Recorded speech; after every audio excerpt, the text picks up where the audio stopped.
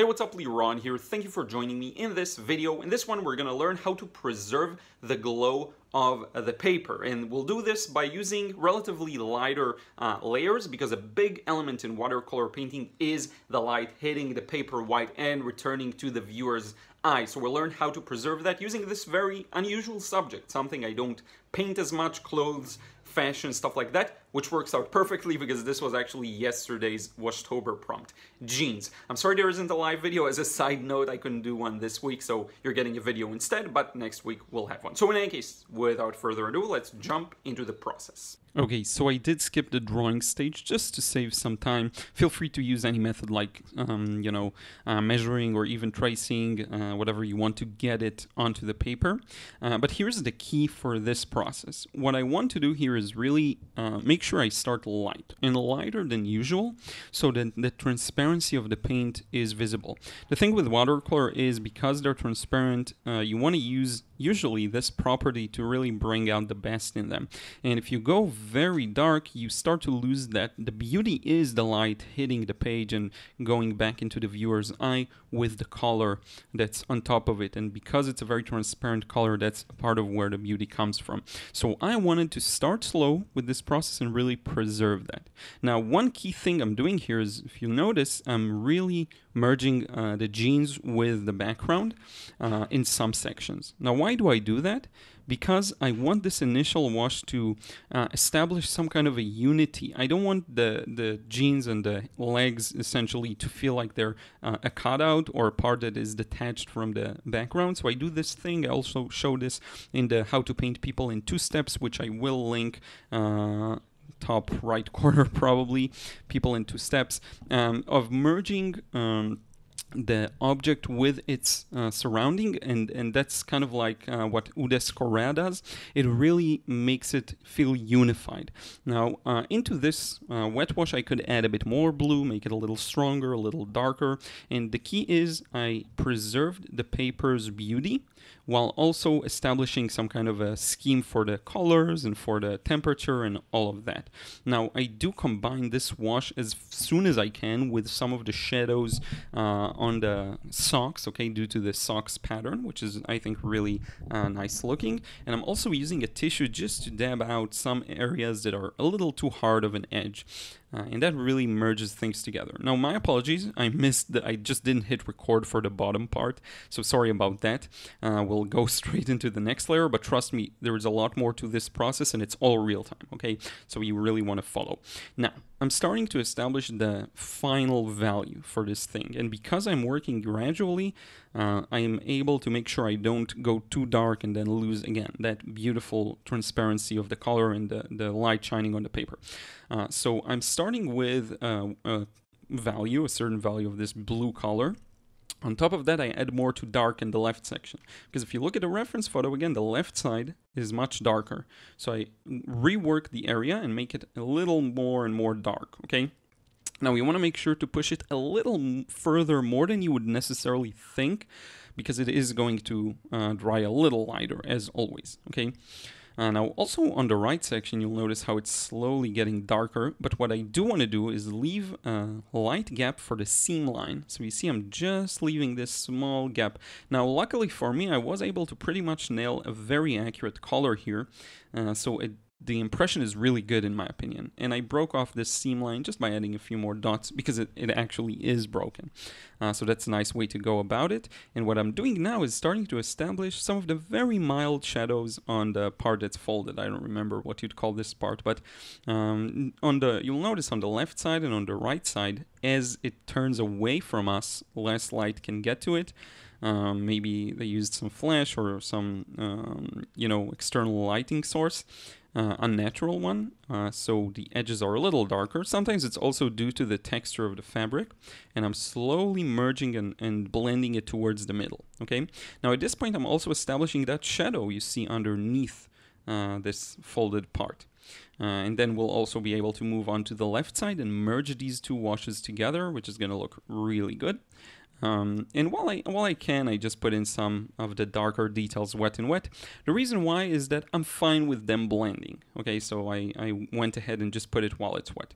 Now same for this section. This leg is a little more behind, so yes, it's a little darker, not much. Um, and you could make a choice, an artistic choice, to make it darker than it actually is, just to differentiate the two. That's something that can uh, work out quite nicely, or you could leave it in kind of a similar value. I darkened it just very gently.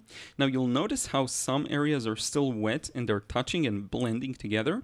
I'm actually fine with that in this point. You see how it blends towards the folded part of the other leg? I'm fine with that.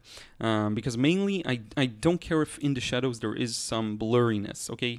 Plus, we also got enough hard edges in the contours of the jeans.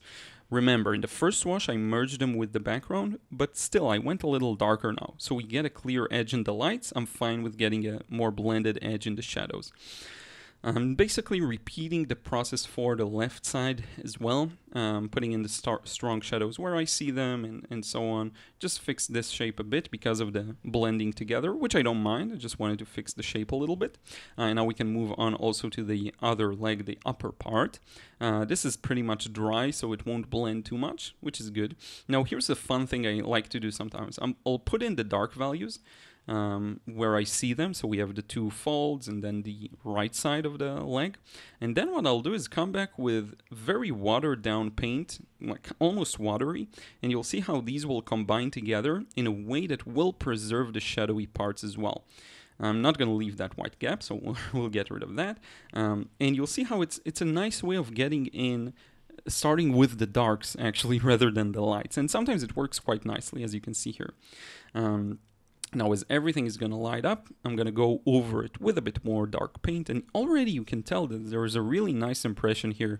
Um, you can very easily obviously look at what, uh, understand what you're looking at um, and I think the jeans work really well and they're pretty much done uh, at this stage so we can move on to the shoes. Now here I was at a bit of a, um, a bit of a problem because the color of the shoes in the picture is very strong. It's very saturated and bright.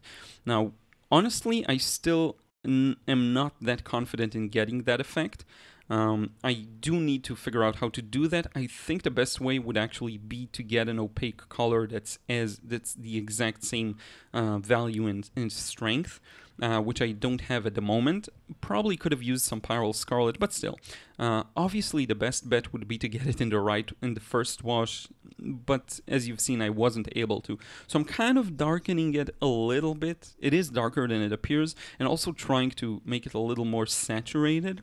Um, I, am doing the best I can. It's not going to hurt the overall impression. It's going to be okay, but uh, ideally this is something I want to practice doing. And again, it's one of those things, just like the last video where I showed you this tall tower uh, with the, that I added the darker red but very pure. Uh, it's one of those things I still haven't really figured out, and hopefully I will uh, in the near future. Uh, I will pr- work on that in particular and probably come back with some of my insights. Uh, but a lot of the magic is going to come from the darks, so here I am adding some of these uh, areas that are extra dark because they're going to make the light red look a little lighter. Now, obviously, I haven't used the same red as well.